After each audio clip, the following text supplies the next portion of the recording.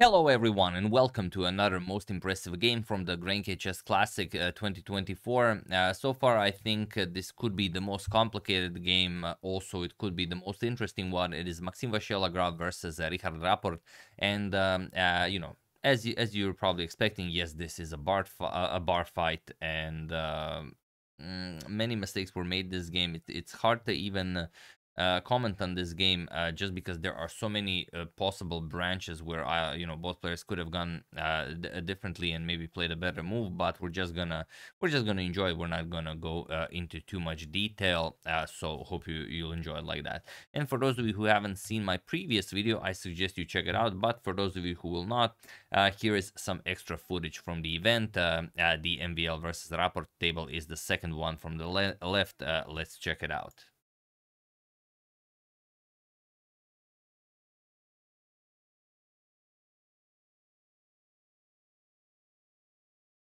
some very nice footage from the organizers and if you want to see the entire uh, intro or sort of a trailer for the tournament as Grenke Chess Classic is the biggest chess tournament in the world uh, first link in the description below. It's uh, some minute and a half so do, do check it out. But now let's uh, see the game uh, MVL with the white pieces opens with e4 and uh, Richard goes for the French defense with pawn to e6 d4, d5, knight to c3, and bishop to b4. We have the Winawer variation of the French, uh, and pawn to e5, the advanced variation. We have pawn to c5, a3, uh, bishop captures, b captures, and knight to e7. So this is the main line, uh, and um, uh, there are many many popular continuations here like uh, pawn to h4 pawn to a4 uh, queen to g4 but queen to g4 being the most popular one uh, is what MVL goes for queen to c7 and now uh, queen captures on g7 is still the main move, uh, but sometimes bishop to d3 is played. And I think a couple of um, games that we've covered, queen to g7 was played, and you guys remember then you go rook to g8, you capture on h7, then you capture on d4, then knight to e2 prevents queen captures on c3, and after you uh, play pawn captures, uh, now you uh, either start advancing the h-pawn, or you move the queen back, or you play pawn to f4, defend the pawn on e5, and now you continue. Uh, in some variations, you might even be able to start pushing your h-pawn right away, but uh, probably you will bring the queen back, play knight to d4, uh, and just consolidate a little bit. So we've had quite a few of these lately, but here we have bishop to d4 by MVL.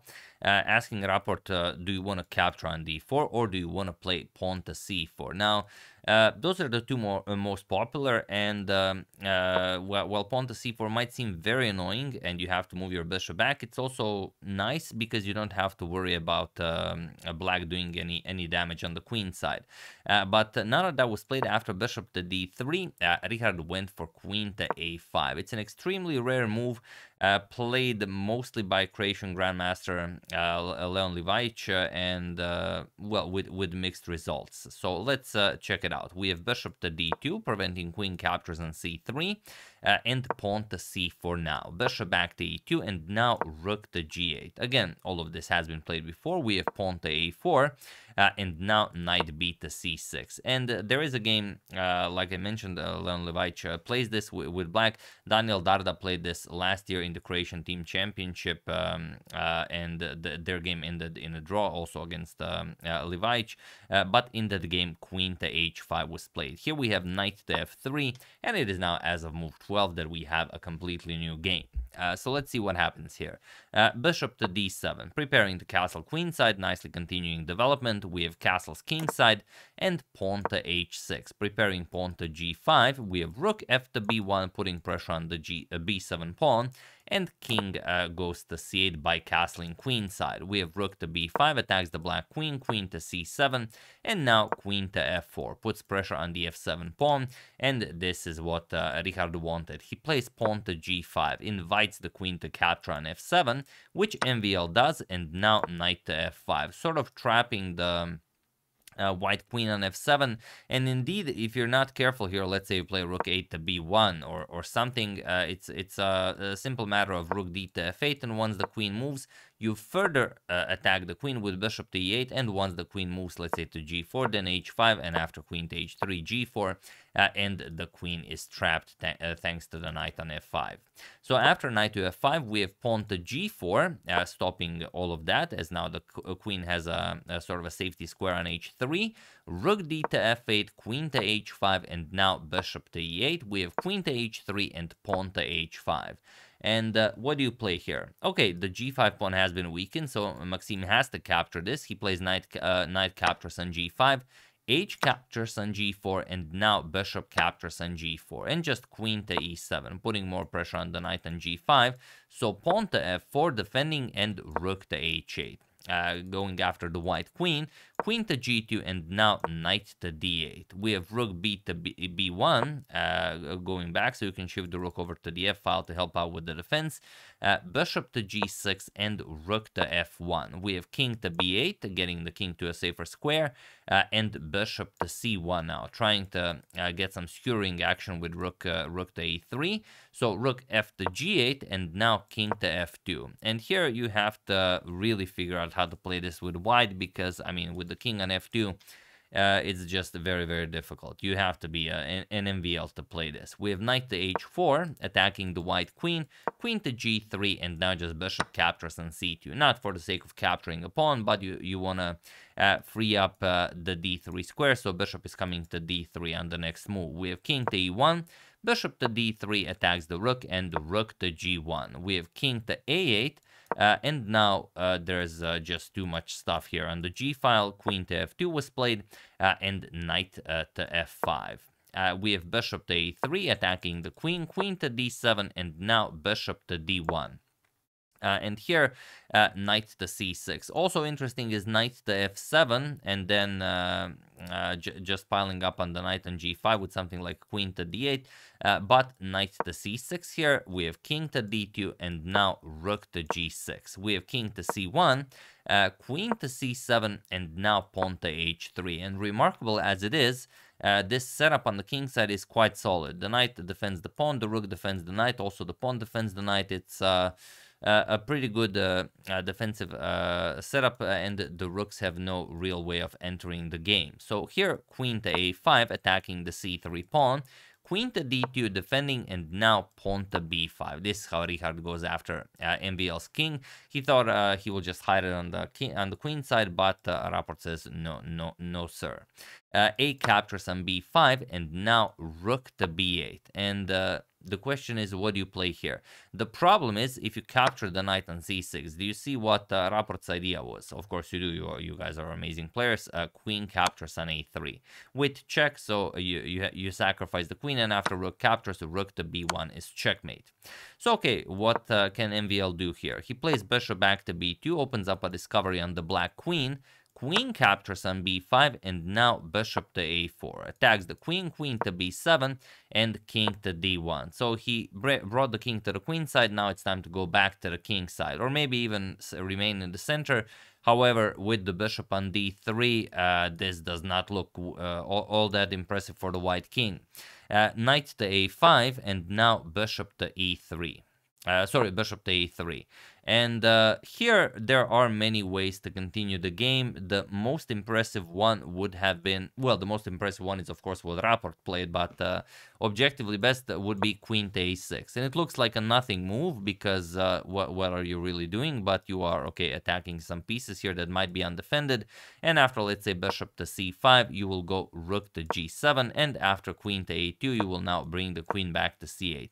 So it's a, a really weird set of moves, but uh, this is what you have to do in order to keep pushing for the win with black.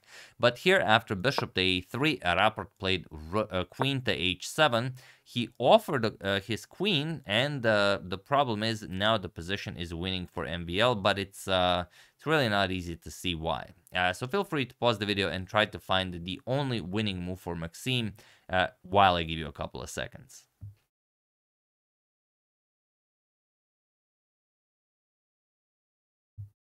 So, uh, for those of you who were able to do it, congratulations on always thinking about the, most important square in chess. And for those of you who just want to enjoy the show, it is bishop to b4. This is the only move that wins, and this is what MVL played. But just for fun, uh, I will show you what happens if you take the queen. If you take the queen, uh, it's not even winning for black. Uh, I mean, it could be winning because it's extremely complicated. But after rook captures on g1, there's only one move for white, queen to e1, and now you play knight to e3 with check, or you capture right away, but it's not that impressive. Uh, knight to e3 check, king to d2, and now you play knight to f1 with check. And now the point is, if you move the king, then black will in fact be winning. So you're gonna capture the knight with the queen, uh, and now bishop captures on f1 uh, and pawn to f5. But, uh, I mean, this is finding all of this with white is um, uh, very, very hard. And now, for example, knight to b3 with check, king to e3, and now knight captures on a1. Bishop to c6 with check, king to b, uh, rook to b7, and now f captures on e6, creating a passed pawn. Bishop to d3, uh, now preparing to, to guard the queening square pawn to e7, knight to c2 with check, king to f4, and now bishop to g6. And uh, uh, who can make uh, heads of tails of this position? I mean, this is just uh, this is just uh, not possible to, to calculate, uh, especially if you if you look into something like bishop to d6 and then knight captures on d4, a piece sacrifice to create another pass pawn here, and after let's say knight to f6, again guarding the queening square, you throw in a pawn to c2, and now the bishop has to go back to defend the queening square. Uh, it would still be a game where many things are possible and, uh, uh, uh, well, both of them could emerge victorious. However, after this queen to h7 move, Maxime played the strongest bishop to b4. And that's just how strong Maxime is. And uh, the problem is uh, now knight b3 is completely pointless because you will just uh, uh take it with the bishop and then the bishop on d3 is hanging. So here queen to h5 check by Richard, king to c1 and now rook captures on b4. We have c captures and knight captures on d4 uh, and here just king to b2. Again, strongest by Maxime. You don't want um, uh, the king here. For example, you play something like b captures on a5, then comes knight to e2 check with, with a nice fork here. Now you cannot go here because of c3 check with the royal fork. And if you go king to d1, then knight captures on g1, and uh, well, it's just a draw. For example, king to e1, queen to e2 with check, uh, everything gets traded off, captures, captures, and this is now uh, an equal position.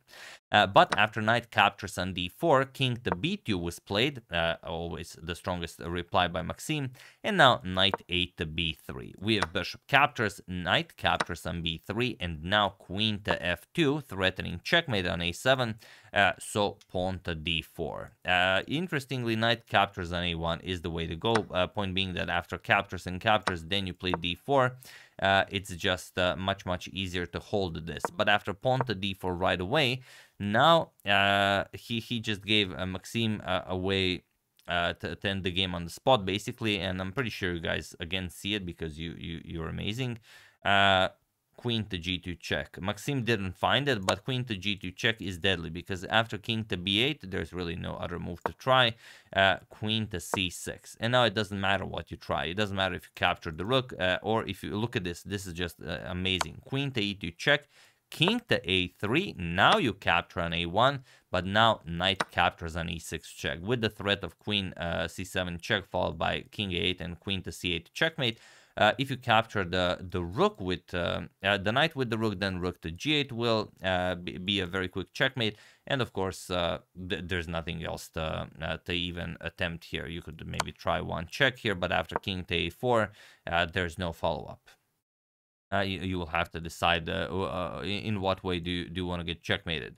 So here, queen to g2 would have been uh, spectacular, but rook to a3 was played by Maxime, and now queen to e2 with check. Uh, Rapport forces a queen trade. Queen captures, we have bishop captures, and now rook captures on b3, c captures, king captures, and now king to b7. All of a sudden, we have an endgame, uh, and it's a race where uh, uh, MVL is up a pawn. We have knight to f3, uh, rook to h6 going after the pawn, knight captures on d4. We have rook captures on h3 with check, king to b2, uh, rook to h2. Defending the bishop, we have king to c3, uh, and rook to h3 again with check. King to c2, rook to h2, uh, and now rook to g7 with check. MVL finds the uh, the path to victory. King to b6, we have knight captures on e2, rook captures, and now king to d3. So remarkable as it is from that uh, complete mess of a position, we're now into an element, uh, we're now getting into an elementary endgame, a rook and pawn endgame, where uh, MVL is up a pawn, but um, uh, the problem for Rapport is that MVL's um, uh, uh, two pawns are connected and this pawn will fall, which means that he will have two connected pass pawns and uh, uh, probably the, the king will be uh, cut off from the game. we have rook to f2 going after the pawn, king e3, nicely defending, Rapport attacks on b4, and now rook to g6, just going after the e6 pawn, there's no way to defend it, rook b3 check, king f2, and now rook captures on b4. Rook captures on e6 with check, king to c5, and now king to f3. Uh, pawn to a5, the um, passed a pawn starts marching forward, rook to a6. Of course, you always have to put the rook behind the passed pawn. Pawn to a4, we have pawn to e6, and king to d5. We have pawn to f5, a3 and e7 and he was in this position on move 70 that MVL uh, or rather uh, Richard Rapport resigned the game as there is nothing more to be done here. So beautiful, beautiful game by uh, both of them. Like I said, it's uh, it's uh, a bare knuckle bar fight, and um, uh, the, the, I mean, just beautiful stuff here. The, many moves could have been played differently. Many uh, positions maybe could have been uh, handled with more care, uh, but you know they just they just went at it, and this this is the result. So here the problem is if you go rook to e4 to stop the queening, then you can again pretty much play anything, either f6 or you can just play rook a5 check, kick away the king from the defense of the rook, or if here another check, you pick up the rook. Uh, or uh, after e7 you go rook to b8 to stop queening uh, like this, but then just pawn to f6. And if king to e5, just pawn to f7, and either pawn will queen, take the black rook, and that's pretty much it. So yeah, uh, brilliant stuff by, like I said, by both of them, but it is Maxime Vachier-Lagrave who takes this one. And for those of you who haven't seen my previous video, uh, do watch it, but if you will not, uh, here are the standings um, uh, after six rounds have been played. So Magnus leading with four points as today is a rest day, so today they will not be playing any games. Uh, MVL Rapport and uh, world champion Ding Liren with uh, three points, uh, and Vincent Keymer and Daniel Fridman on two and a half. Uh, so yeah, that's the game. Hope you guys enjoyed it. Those were the standings. Uh, I would like to thank uh, Stefan Arnold Schelp, uh, uh, rest in peace, uh, David Gatten, Joyful Chess Lover, Mr. Hoodie Guy, and Andreas Rosenthal for a contribution to my channel. Thank you a lot. I really appreciate it. As usual, you can check to all my previous videos. Sarah, thank you for watching, and I will see you soon. Continuing to check up on your wonderful suggestions, but mostly covering the Grenke Chess Classic until it finishes. Uh, so thank you all. I will see you soon and have an excellent rest of your day. And if you have a minute and a half, do watch the first link in the description below. It's a trailer for the Grenke Chess Classic tournament. See you soon.